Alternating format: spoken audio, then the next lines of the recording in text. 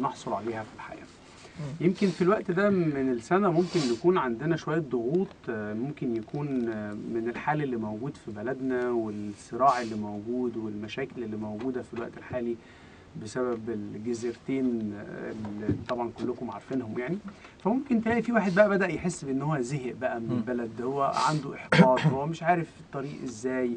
ممكن تلاقي في حد تاني مثلا زهق بقى من المذاكرة عمال بيذاكر من طول طول السنة وهو يعني خلاص وصل لمرحلة إن هو مش قادر يعمل حاجة تانية. فإحنا النهارده موضوعنا الحقيقة بيتكلم على حاجة اسمها refresh اللي هو عارف لما بيكون الموبايل بتاعك كده فاتح أكتر من حاجة أو الجهاز الكمبيوتر أنت شغال على أكتر من حاجة في نفس الوقت فبتحس إن أنت عايز تعمل إيه؟ عايز تعمل restart للجهاز كده أو refresh علشان تقف لأن أنت مش قادر تاخد قرار مش قادر تذاكر مش قادر آه، تحل مشكلة مش قادر تفكر في أي حاجة. نفسك تنفصل كده. أحيانا الواحد بيجي له وقت كده يقول لك إيه؟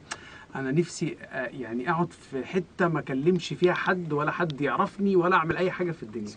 هو ده الإحساس اللي ممكن يكون بيعدي علينا في الوقت الحالي كده نوع من أنواع الإحباط ملل زهق آه، قرف عايز عايز أخرج من الدنيا. دي عايز أسيب البلد عايز أعمل فإحنا النهارده عايزين نعمل refresh عايزين نعمل restart عايزين نعيد مرة تانية حماسنا ونرجع مرة تانية للحالة اللي إحنا المفروض إن إحنا نكون عليها سواء أنت كنت بتذاكر أو. بتشتغل إزاي هنعمل ده. مبتدأ dot com